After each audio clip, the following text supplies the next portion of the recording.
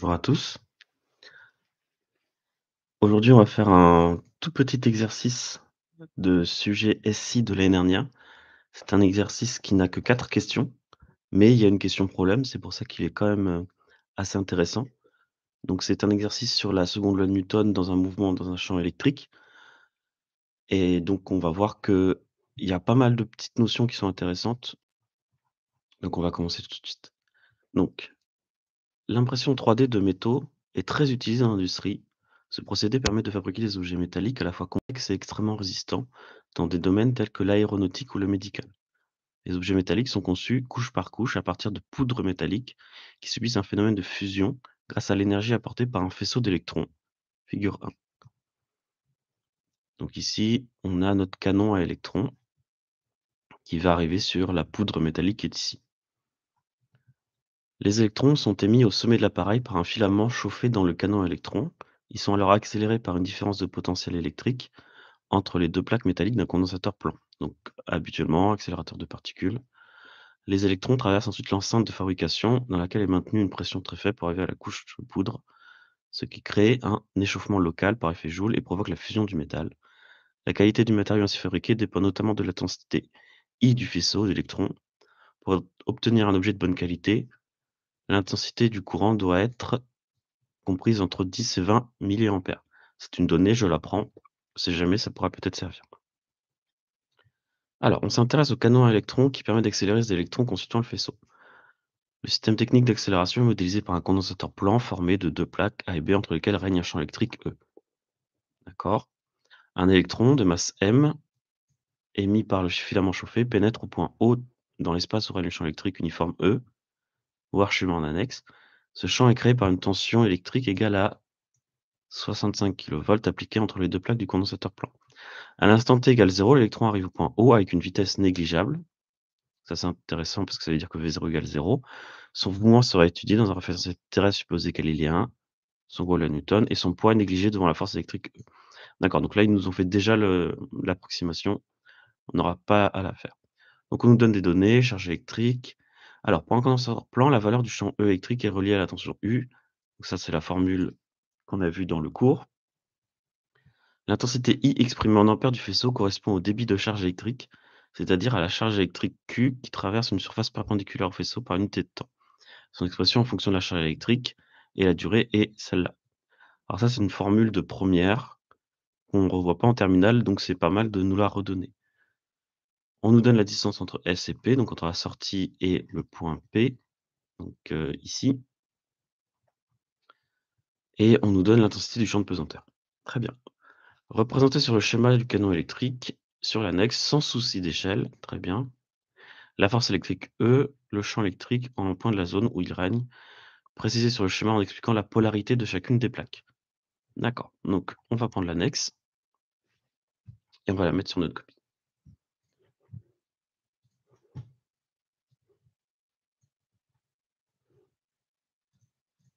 Alors, donc, question 1.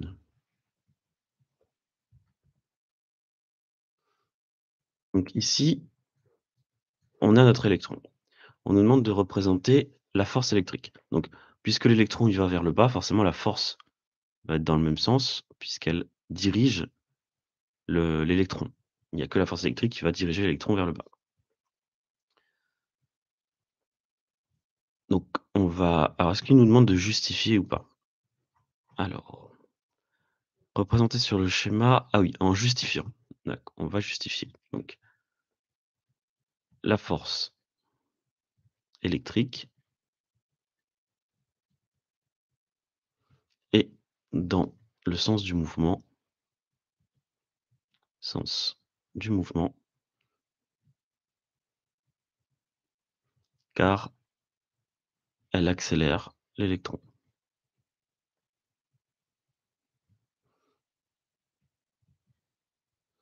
L'électron.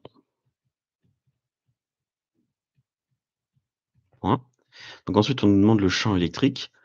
Alors, nous, on sait que euh, on a que F, E, c'est égal à Q fois E. Mais ici, on a un électron. Donc, comme on a un électron, on sait que la charge d'un électron, c'est égal à mo moins 1. Donc à moins une fois la charge élémentaire. Moins 1 fois E. Donc on sait que la force électrique, ce sera égal à moins E fois le champ électrique. Donc c'est-à-dire que le champ électrique, il est dans le sens inverse de la force. Parce que c'est un électron. Donc c'est dans le sens inverse. Moins alors non, pas de moins justement, donc juste E qui est dans ce sens-là. Donc E est dans le sens inverse. Donc on va le marquer. E est dans le sens inverse de FE. Et dans le sens inverse.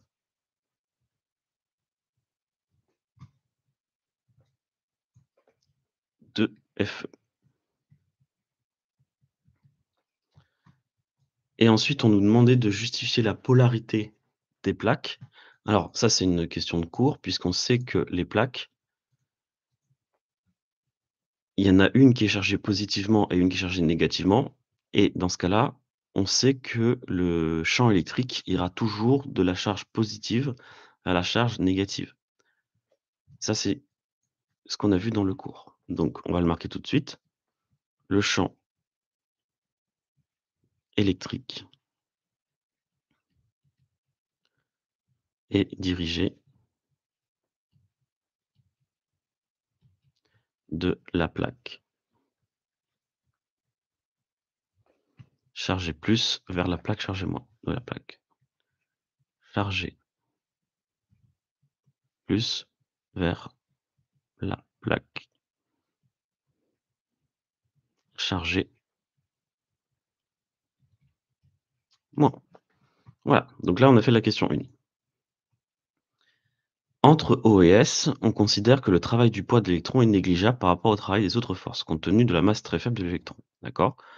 Montrer en utilisant le théorème de l'énergie cinétique que l'expression de l'énergie cinétique de l'électron atteint au point S vaut. Calculez alors la valeur de l'énergie cinétique de l'électron située au point S. D'accord. Donc on va déjà démontrer cette formule-là avec le théorème de l'énergie cinétique. Donc, question 2. Avec le théorème de l'énergie cinétique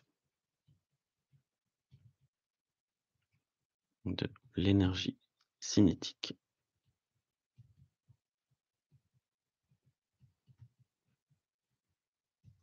On a donc on commence toujours comme avec la seconde loi de Newton par écrire l'expression du théorème. Donc delta EC est égal à la somme des travaux des forces. Et ensuite, on va l'appliquer à notre problème. Donc ici, delta EC, c'est toujours final moins initial. Donc c'est EC à la sortie qu'ils avaient appelé S, il me semble. Je vais juste vérifier avec le schéma. Voilà, S moins ECO. Donc EC au point S moins EC au point O. Et ça, c'est égal à, au travail de la force électrique, puisque c'est la seule force qui est présente ici. Nous, on sait que ben, ECO, c'est égal à 0. Donc, je vais commencer à l'écrire comme ça. EC au point O est égal à 0 joule, car on a dit dans l'énoncé que la vitesse initiale, c'est égal à 0 mètres par seconde. Donc pas de vitesse initiale, pas d'énergie cinétique. Ensuite, le travail de la force électrique, on sait que c'est par définition du travail, c'est le produit scalaire entre la force électrique et la distance OS, le vecteur OS. Donc, ça nous fait que on va remplacer ce produit scalaire, donc ça fait FE fois la distance OS fois le cosinus entre les deux. Donc FE et OS. Ensuite, on va pouvoir remplacer FE par son expression. On a vu tout à l'heure que c'était moins E fois le champ électrique. OS, on nous a donné, est-ce qu'on nous a identifié la grandeur OS Est-ce qu'on a mis une distance quelque part? Non, donc on va soit mettre D, soit mettre OS, peu importe. On peut garder OS. Donc fois la distance OS et le cosinus donc on a vu avec le schéma précédent que FE et OS étaient dans le même sens. Donc l'angle entre les 2 ce sera 0°, cosinus de 0°. Ensuite, nous, dans l'expression qu'on cherche, il y a U. Donc on va exprimer U, ben E avec U sur D. Et la distance entre les plaques, c'est aussi OS. Donc fois OS fois 1. Cosinus de 0, ça vaut 1. Donc ici, les OS vont s'en aller. Et il ne restera plus que EC S est égal à moins EU. Alors, c'est ce que ce qu'on nous demandait. Alors, ici, EC moins. Donc là, il y a un petit souci avec la charge. Alors, avec le, il y a un signe moins ici que nous, on n'a pas. Alors, pourquoi est-ce que... Où est-ce qu'on a fait une erreur de signe?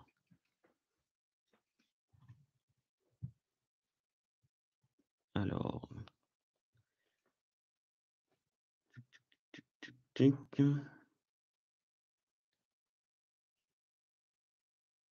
Alors, ici, donc c'est toujours final moins initial, donc ça c'est bon. Somme de travaux de force, c'est FE moins OS. L'angle entre les deux, c'est bien. Donc on va bien de O vers S.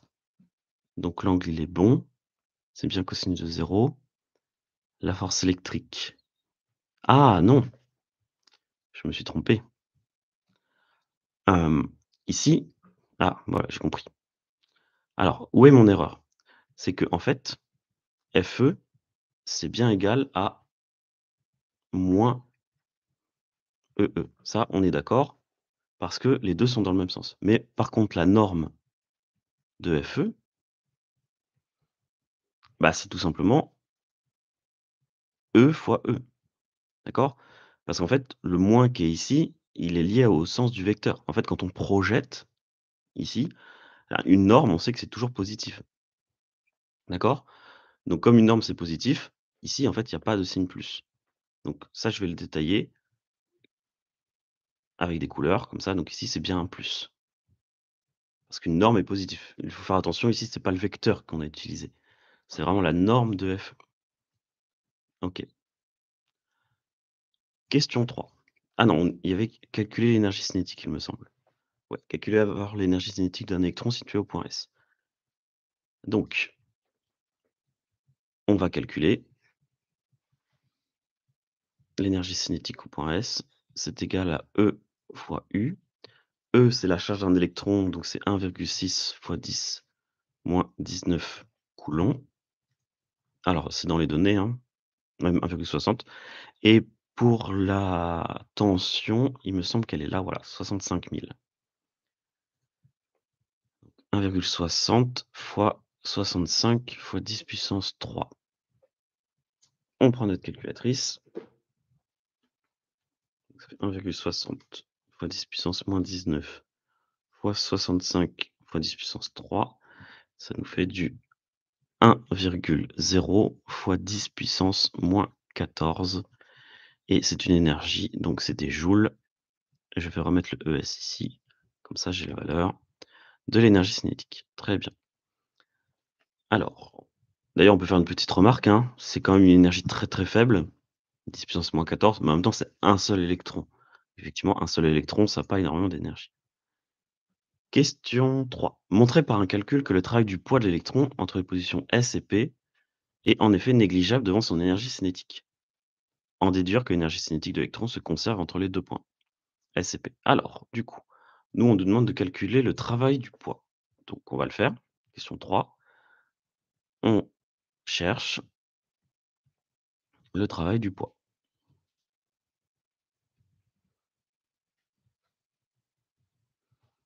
Donc, on va partir de la définition.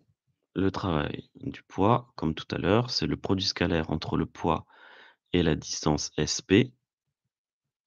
Et donc, c'est égal au poids fois la distance SP fois le cosinus de l'angle entre P et SP. Ici, si on regarde notre schéma entre S et P, le poids est dans ce sens-là, évidemment, toujours dirigé vers le bas. Donc, c'est-à-dire que l'angle entre SP et P, c'est toujours 0 degré. Donc, ce sera toujours égal à 1. Le poids, c'est M fois G fois la distance SP fois cosinus de 0 degré. Et donc là, on peut remplacer par toutes les valeurs. Donc le poids la masse d'un électron, c'est égal à 9,11 fois 10 moins 31. 9,11 fois 10 moins 31 fois 9,8.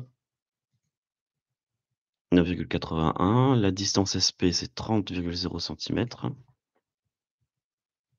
Fois 30,0 cm fois 1.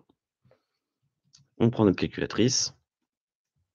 9,11 fois 10 puissance moins 31 fois 9,81 fois 30. Ça nous fait du 2,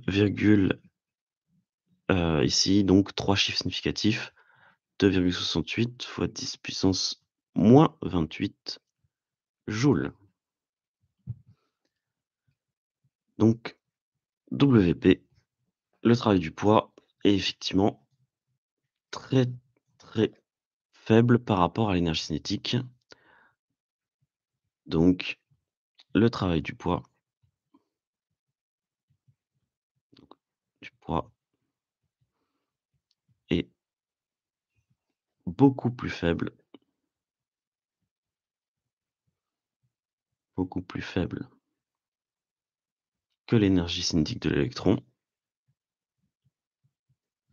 Énergie cinétique de l'électron.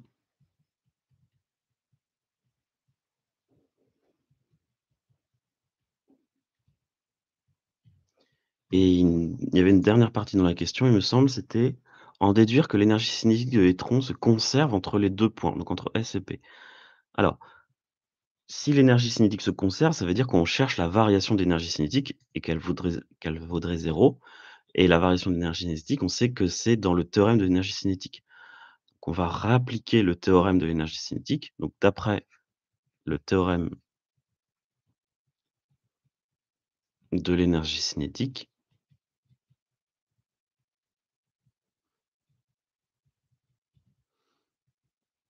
on a donc que delta EC, donc ici on va écrire entre S et P, c'est égal, alors c'est toujours la somme des travaux des forces. Ici, on a quitté l'accélérateur, donc la seule force qu'il y a, c'est le poids. Et nous, on vient de montrer que le poids, bah, c'était quasiment égal à 0, c'était négligeable. Donc ça veut dire que la variation d'énergie cinétique entre S et P, elle est égale à 0. Donc ça, ça veut dire quoi? Ça veut dire que l'énergie cinétique en S, c'est égal à l'énergie cinétique en P, puisqu'il n'y a pas de variation, la variation est nulle. Donc si l'énergie en S, est la c'est la même que l'énergie en P, donc l'énergie cinétique se conserve. L'énergie cinétique se conserve entre S et P.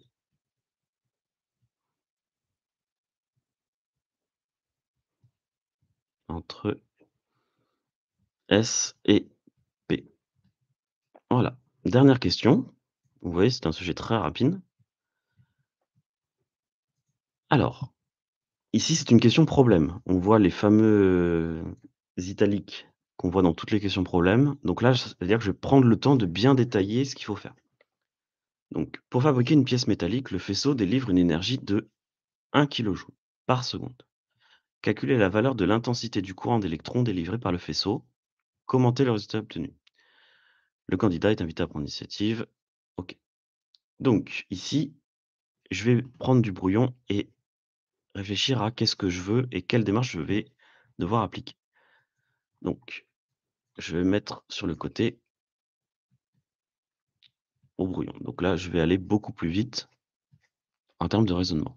Donc, ce que je vous avais montré la dernière fois, c'est qu'est-ce que, j'ai à ma disposition? On va mettre à gauche. Et qu'est-ce que je veux? Donc, nous, on nous demande l'intensité I.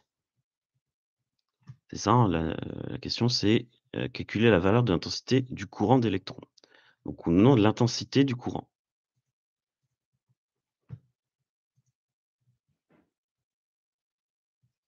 Je vais aller voir dans mon énoncé, qu'est-ce que j'ai par rapport à I? Donc je l'ai surligné tout à l'heure, j'ai I égale Q sur delta T. Donc ce que j'ai, c'est I égale Q sur delta T. Donc ça veut dire que pour arriver à I, je vais devoir utiliser, bah, cette formule, Q sur delta T. Donc ça veut dire qu'il me faut Q et il me faut delta T. Alors, du coup, delta T, on nous l'a donné dans l'énoncé, on nous a dit que c'était 1 seconde. D'accord? Puisque dans la question, c'était bien marqué heu, calculer la valeur d'intensité du courant délivré par le faisceau et c'est 1 kilojoule par seconde. Donc là, on est sur 1 seconde. Donc là, il me faut Q. Q, qu'est-ce que c'est?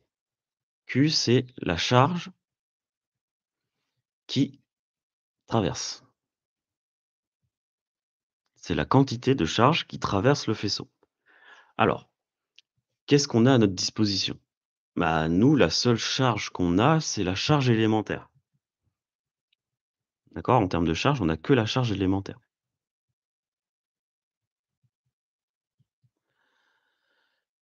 Donc ça veut dire qu'il va falloir que je trouve un lien entre la charge élémentaire et la charge totale.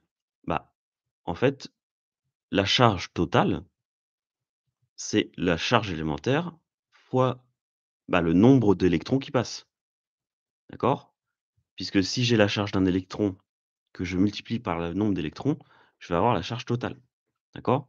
Donc ça veut dire qu'ici, pour avoir le Q, il va me falloir le nombre d'électrons. Alors combien est-ce qu'il y a d'électrons qui passent? Ça, c'est la question qu'il faut que je me pose. Heu, comment est-ce que je vais trouver le nombre d'électrons? Qu'est-ce qu'on me donne? Dans l'énoncé, on me donne une valeur. On me donne des kilojoules, donc on me donne l'énergie donc on me donne l'énergie délivrée par le faisceau par le faisceau. Donc on me donne l'énergie totale du faisceau. Faisceau et on me dit que c'est 1 kilojoule, 1,0 kilojoule. C'est ça, hein, c'est pas 10, c'est 1,0. D'accord.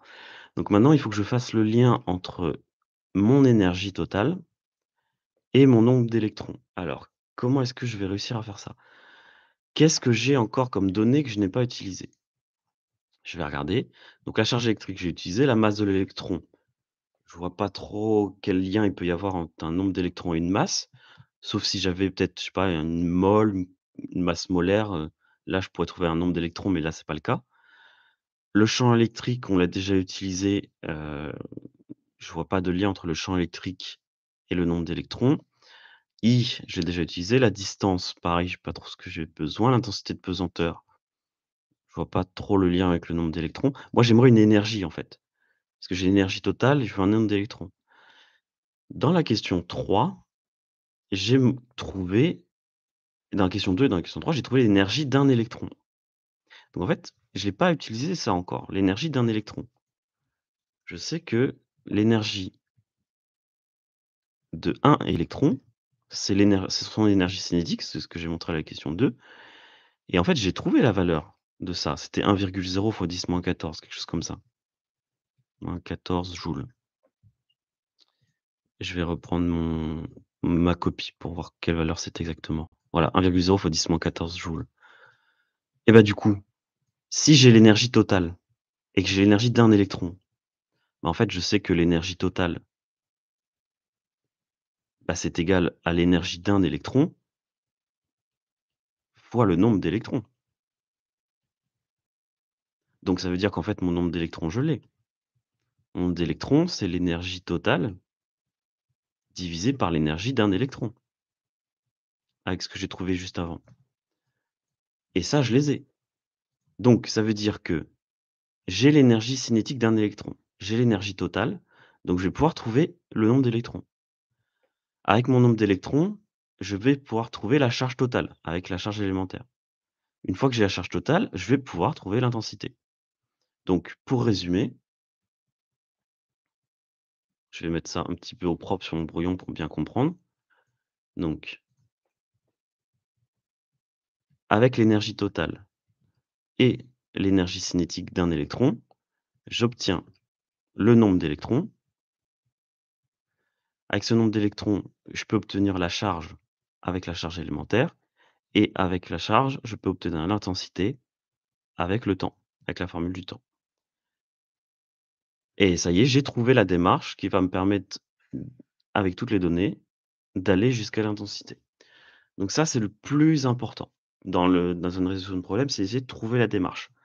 Maintenant que j'ai la démarche, j'ai juste à l'expliquer étape par étape dans ma copie. Tout ce raisonnement-là, effectivement, je le ne marque pas sur ma copie, parce que là, c'est du brouillon. Là, maintenant, je vais expliquer qu'est-ce que je vais faire. Donc on a dit que la première étape, c'est alors, notre démarche, on peut aller dans n'importe quel sens, mais moi, je vais partir du départ jusqu'à l'arrivée. Donc, on a que on a l'énergie du faisceau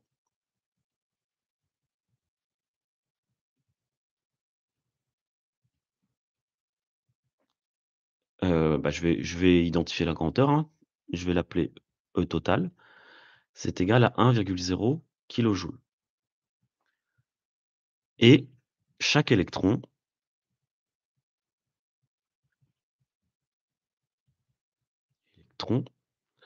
a une énergie donc là, j'utilise l'identification de l'énoncé, c'était 1,0 fois 10-14 joules. Donc on peut calculer le nombre d'électrons. On peut calculer le nombre d'électrons dans le faisceau. Le nombre d'électrons dans le faisceau.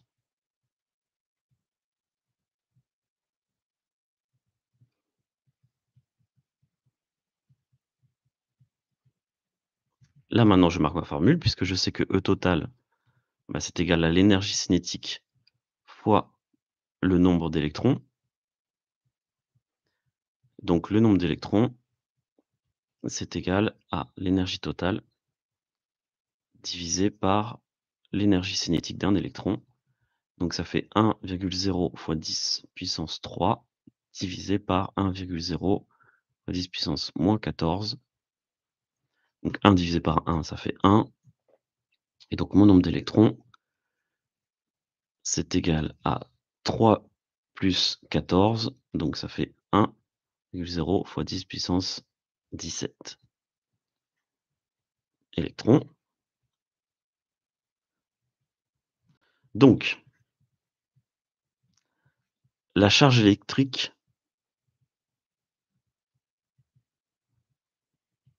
de du faisceau vaut donc Q, c'est la charge totale, donc c'est égal au nombre d'électrons fois la charge d'un électron. Heu, la charge d'un électron, c'est E. Donc ça veut dire que ça fait 1,017 fois 1,60 fois 10-19 et ça, c'est égal à 1,60 fois 10-2 coulombs. Finalement on a donc I qui est égal à Q sur delta T. Donc c'est égal à 1,60 fois 10 moins 2 divisé par 1 seconde. Donc ici, on nous dit 1 seconde, donc ça doit certainement être, heu est-ce qu'on nous donne des chiffres des chiffres, hem significatifs? Non, mais on me dit par seconde, donc ça doit être une valeur exacte. Donc on va donc ça fait tout simplement du 1,60 fois 10 moins 2 ampères et ça, ça nous fait du du coup du, heu, 16 milliampères.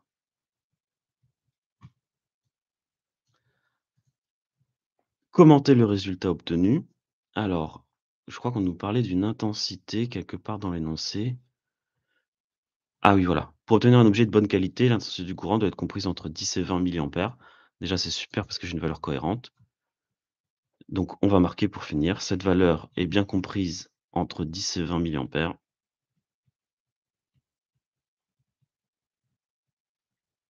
Bien comprise. Entre 10 et 20 milliampères. Donc nous allons obtenir un objet de bonne qualité.